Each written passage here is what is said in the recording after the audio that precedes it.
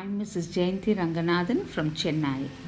The most memorable experience of my childhood days, next to visiting my grandparents' place, is my visit to the Hogenakkal Waterfalls. My father was a district collector of Dharmapuri, a place 47 kilometers from Hogenakkal. Therefore, I had several opportunities to visit this Niagara of India. The ha ha sound of the waterfalls always created in me a mixed feeling of joy and fear.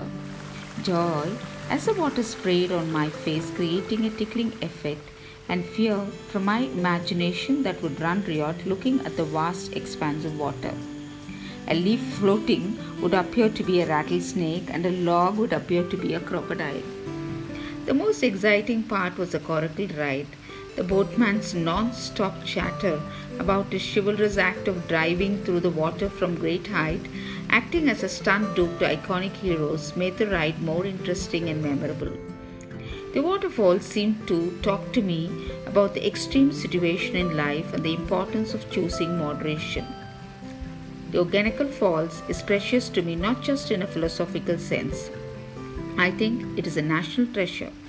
I wish that the future generation also realizes the beauty of Hogenakkal and understand how lucky we are to be blessed with such natural wonders.